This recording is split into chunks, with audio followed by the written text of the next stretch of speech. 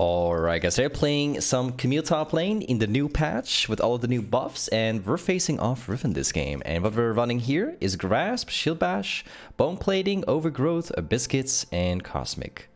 This game I'm going to show you how to carry with Camille with all of the new buffs and in case you haven't seen it, um, they actually gave a direct buff to the AD growth of Camille and they also gave a direct damage buff on the R.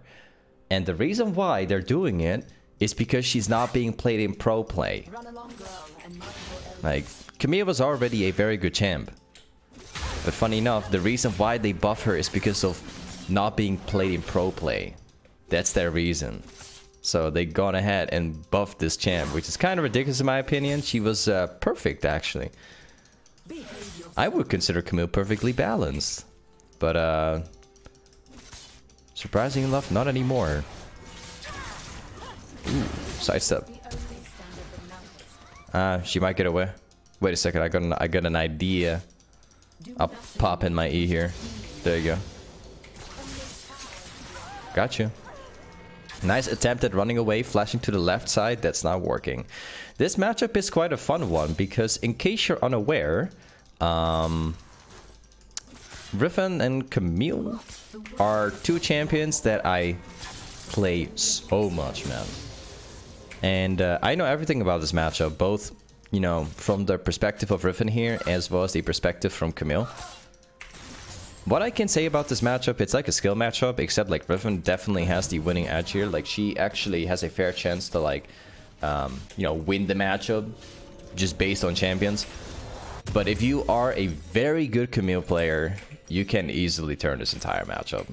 Very easily. Let's uh, sell that one. There you go.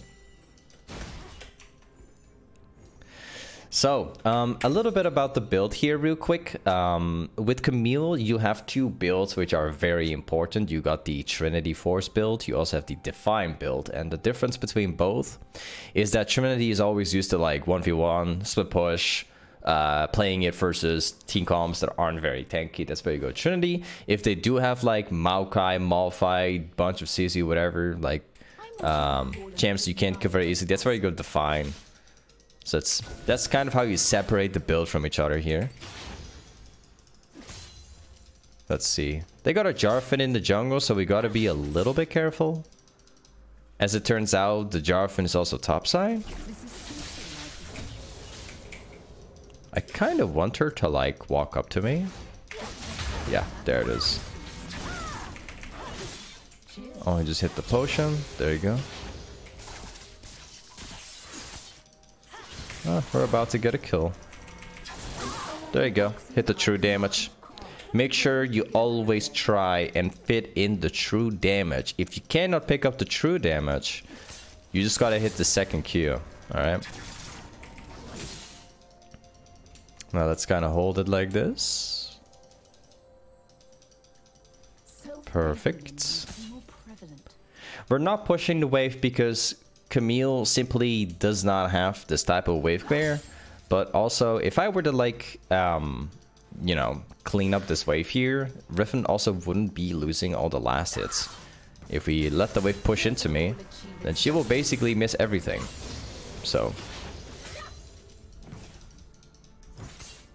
Nice. And everything is getting lasted. Cool. Got most of it. Riven's back as well. I'm gonna attempt another kill on this guy in just a bit. And we'll lose that last hit. Also this one, there's not much you can do about it. It is what it is. Um, we're gonna make sure that we slow push the wave. We're definitely not gonna hard shove. Because hard shoving um, allows her to farm for free, which is absolutely not what we're looking for. I could technically E into her right now because I got my level 6 and she's level 4. But the chance of her sidestepping it is very, very, very, very likely. Because she has like four type of dashes. So I'm just going to slow push this. There you go. Pop in my W. You probably should away or not. Also an option. I could try and stay around a little bit longer, but it's going to be sort of like an overstay. But since I know where Shaco is, it is actually possible. Uh, try fitting in like another auto. Hmm.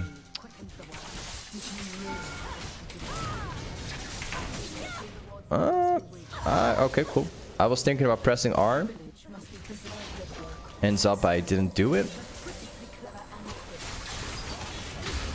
Hmm. Did hit my W. This is very upsetting because I think I could have gotten the Jarvan. Let me check here. We just need the hard shelf again. But yeah, Camille is perfect, man. Um, not just like they gave all these buffs for the the mid slash late game, so you're you're not necessarily playing like you're not necessarily feeling much of the difference in the early game with Camille. You feel some of it, like some of the buffs you you feel at level six. That's where you start noticing all the uh, the changes they went through. Um, but you'll start feeling Camille is like the most when you get the first item, and when you get like even higher levels, right? Um, early game with Camille is also a lot of fun because Camille is not just a late game champion like probably most of you guys recognize, but uh, Camille is also like an early game champ, as you can see. You can snowball lanes very easily when you play Camille.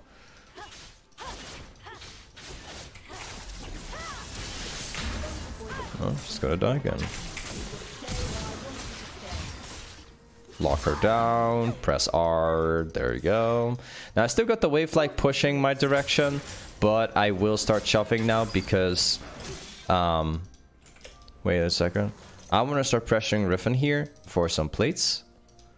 So I'll just drag the weight at the lane first. There you go.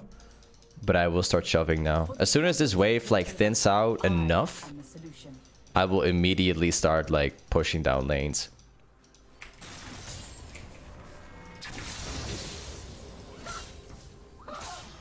Hmm, didn't get that one? Sure.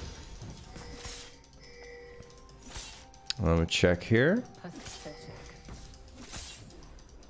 That's gonna go under tower. As mentioned before, I don't want to prioritize like freezing right now. I want to try and get my Trinity Force as soon as possible here. I'm gonna start putting a uh, slow push in the lane here.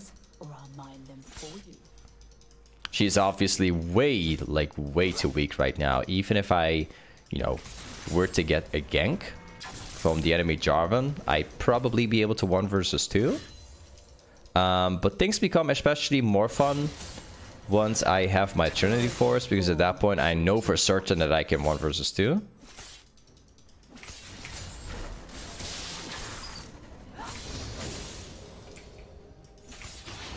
Okay. There you go. I actually need like... I need that plating. I'm just gonna go for it. Jarvan's in mid lane. Hit the passive. I think that's enough, yeah. I'm way too fat, man. I'm way, way, way too fat. I'm like way too far ahead in this lane. This guy has no chance anymore.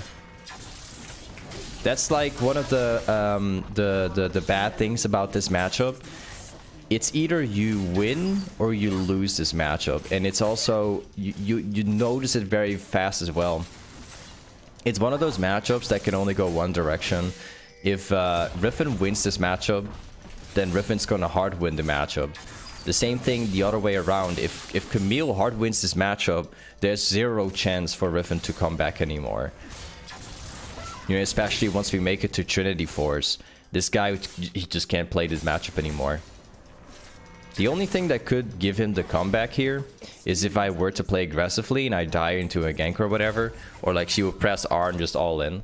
That could be a an opportunity, I suppose. Let's go for this one. Into a long sword. I'm just going to teleport this one because I'm already winning too hard. If Jarvan ganks my lane here, I can 1 versus 2 without a doubt. Look at my damage now. If I hit my true damage, I'm gonna do like 50% of the damage on this on this guy's health bar. Look, I'm gonna demonstrate. Let's see if I can demonstrate properly here without actually dying. If I... Maybe I can pop off the shield? No. Smart one. I want to demonstrate you the true damage on Q.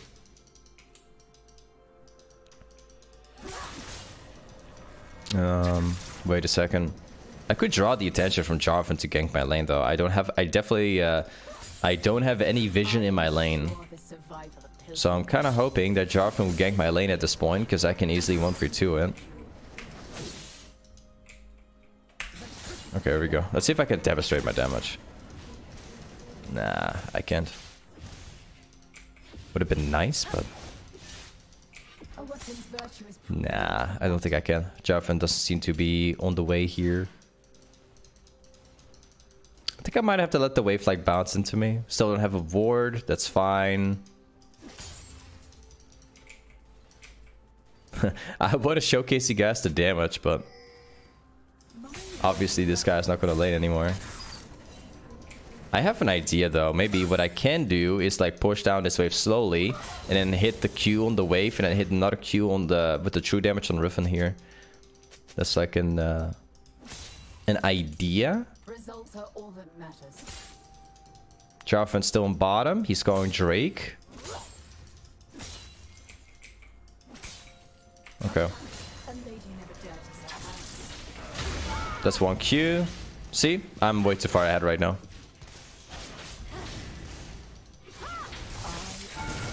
And on...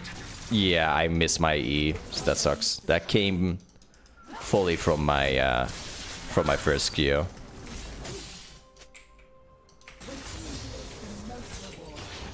Well, let's pick up the plating here.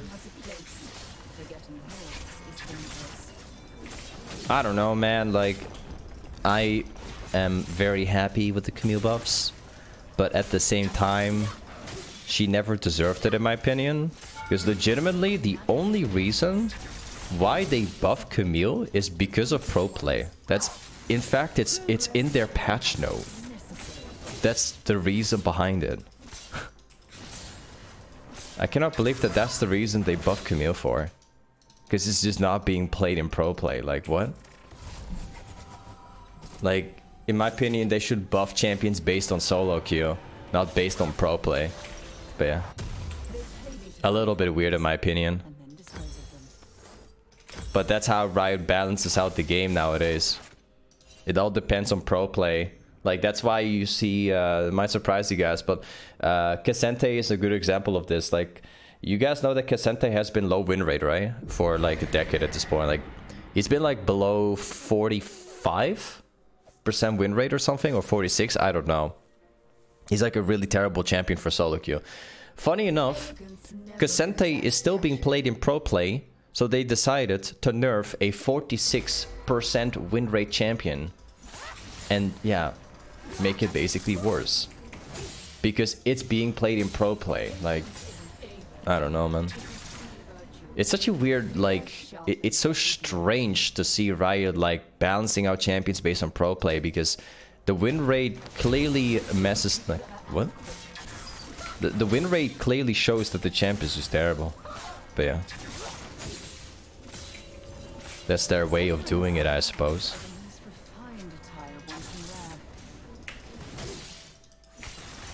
Well, I can play aggressive like this.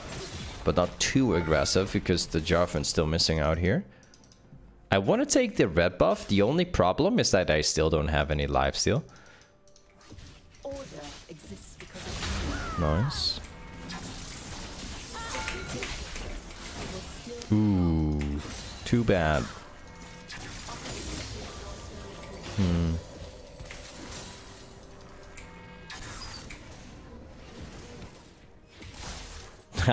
that's not gonna work. Uh, I'm glad I'm not jumping on that because that could be a chance of me like potentially dying. Um, I don't think that she has a ward. Oh, she does.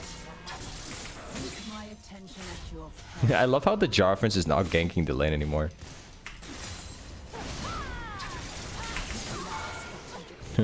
that Jarvan just refuses to go top lane.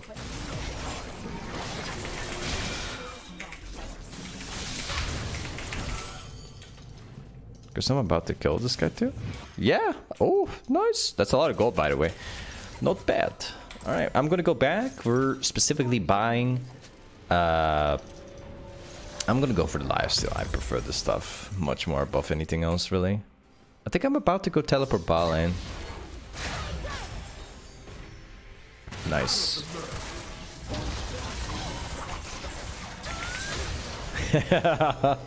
I love the animation from the Lux, uh, the Lux uh, ultimate not going off. yeah, this was gonna be. I'm not surprised this is a fast game. Obliterate lane, my teammates do. But yeah, this is Camille Top Lane. Thanks so much for watching today's YouTube video, and I'll see you next time. Peace.